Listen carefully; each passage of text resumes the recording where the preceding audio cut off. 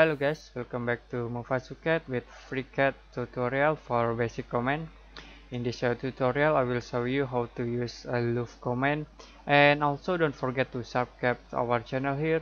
It will be helpful for us to growing up. Okay, open your FreeCAD software, click part design here and create sketch. Use the XY plane and first I will create a circle from here to here and close create the object again like a circle from here to here and we create the last uh, object again like a heptagon here from here to here. Okay close and click the model type here. First I will move uh, this object.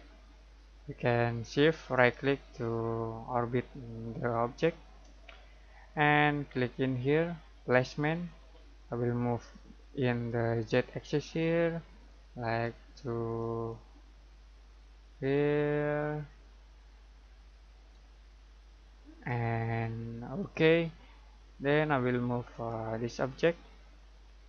Click here placement and move into z-axis like in here. Okay we take a look the drawing you can see. And to load uh, this object we change to the part here. And click here utility to loft and move uh, this object to here here and here. Next if you want to create in a solid models 3d solid uh, you can checklist the create solid and then click ok here. Okay? The object is automatically converted uh, to 3d models by using a loft command. You can also editing this uh, object. Click loft here. And you can click into false.